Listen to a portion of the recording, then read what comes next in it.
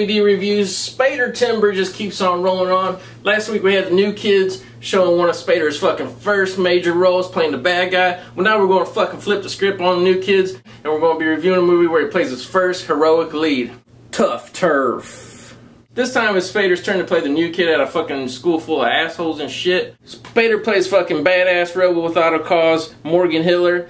The story is his family moved from Connecticut. His fucking father had a big real estate brokerage firm or something that fucking went under. So they moved to Los Angeles. Why Los Angeles from the Connecticut? I don't know. They never really explained that, but they did.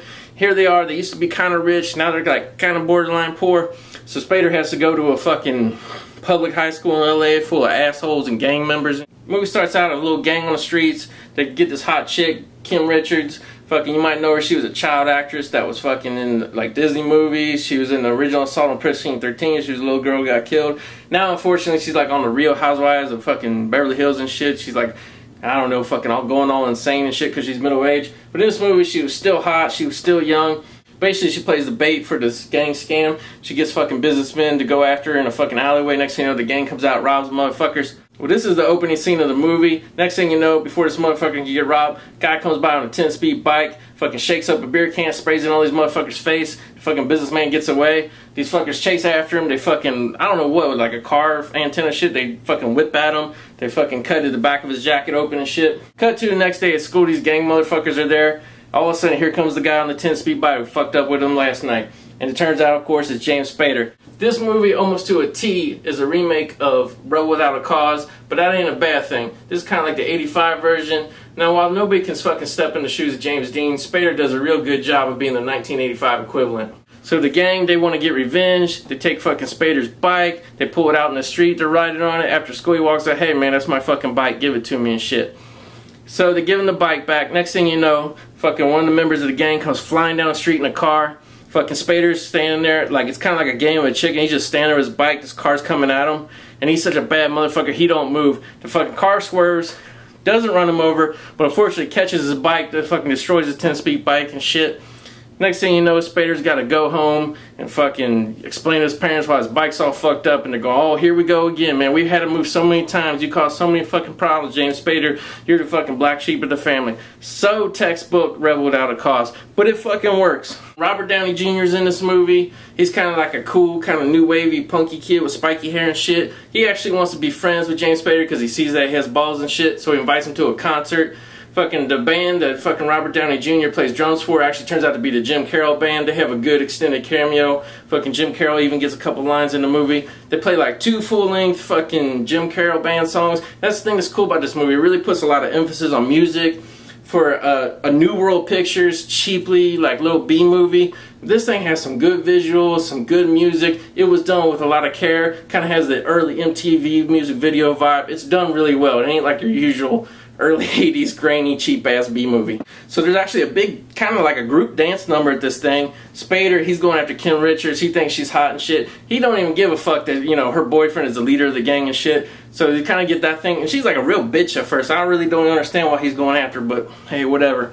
Basically, this is like the second strike, the last straw. The gang is pissed off, man. They fucking start fucking with James Spader. They fucking steal his Porsche, which actually isn't his Porsche. He stole it fucking first. So they're all joyride out and shit, and the cops fucking pull him over. And that's the thing funny is the gang motherfuckers get so pissed off at James Spader because they stole his car but the fact that he stole the car and got them in trouble, they blame him. Come on, motherfucker. A car thief is a car thief. Come on. So while the game motherfuckers are in jail for a few days, this going to buy James Spader some time to put the moves on Kim Richards. He finally breaks the ice with her. She quits being such a cold bitch.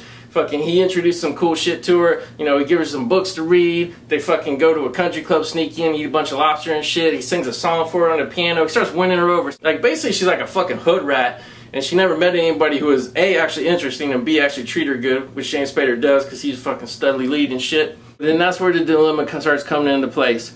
Fucking Spader, he won't back down, he won't stay away from the girl, the gang, they're so, like, especially the leader guy, such a fucking asshole. And the fucking this guy, I think his name's like Paul Mones or some shit. I've never heard him before, and I've only seen him in this movie, but he's fucking great, man. Like, he ain't just like a typical snarling villain and shit. Like, you really believe that he's obsessed with this girl and he won't let her go at all costs. So basically, it's just like a collision course. Downey Jr. is a fucking a sidekick trying to help Spader out whenever he can. but it's really Spader's fucking fight. The movie comes to an end when the gang tries to play a prank and it goes wrong on Spader's father, who's actually a cab driver. They accidentally, well, not even accidentally, they just shoot him because they try to jump him, and old man kicks their ass, so they get pissed off and shoot him. So now shit comes really down to nitty gritty, comes serious. So what happens?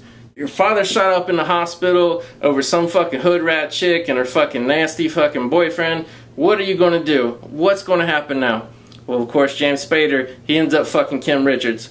And he fucks Kim Richards fucking titty double because, you know, there's a tit shot during the sex scene, but it's obviously not Kim Richards. She wouldn't do it or whatever. But still, it's you know it's a good scene. At least they got the fucking in there. You know, just being a proper '80s movie and all. So now that the fucking's over with, it's time for the big showdown. Spader lures these motherfuckers into a warehouse. It's almost like a fucking rip off of Gotcha. He's got like some paintball guns, but instead of paintballs, they have like little darts in them. And he really only uses them like on one guy, shoots him with some little darts and shit, get him to drop a pipe or whatever. But you know, hey, it's still kind of cool that they come up with the gimmicks and shit. So Spader fights all the motherfuckers one by one. He gets some fucking shit to fall from the ceiling, fucks them up. Big showdown between Spader and the fucking bad guy. I won't ruin it. It's pretty fucking cool. So Tuff Turf being a mid 80s, Rebel Without a Cause type of movie. Spader just being a perfect fucking lead for this fucking thing and the gang being so badass and shit. It really is enjoyable. They really put an emphasis on music, cool editing. The movie was shot real nice. As a movie, because it was so much fucking fun to watch, I want to give Tuff Turf 9 out of 10. Alright, picture and sound is being DVD. The picture quality is actually pretty good, nice anamorphic transfer. Not a whole lot of fucked up, you know, compression marks, mosquito noise, or any like real damage to the print that they use. It looks pretty fucking nice for this age and how low budget of a movie it was. The sound, unfortunately, is 2.0 stereo. That's how they made the movie and shit, and the company wasn't going to fucking, you know, do a remaster. So, you know, for stereo, it actually doesn't sound bad. The songs sound really good and punchy and bright. I'm going to have to give the picture and sound 6.5 out of 10. Special features, old obscure movie. You know, maybe they can't get the director. I'm sure James Spader didn't want to talk about this old bullshit, so they couldn't pull out too many special features. They only had the theatrical trailer. Just being an early Anchor Bay release, they put like a little booklet inside back in the day when DVDs came with booklets. It's kind of got the front cover, and then it's got like a little montage of pictures from the thing, and then the chapter selections. It's kind of neat for a collector, these photos and shit, the little montage they did. So special features only getting the theatrical trailer in that little booklet. Sorry, I can only give it one and a half out of ten. The real interesting thing about this early duo Spader movies is Tuff Turf and the New Kids actually came out a week apart in fucking January 1985.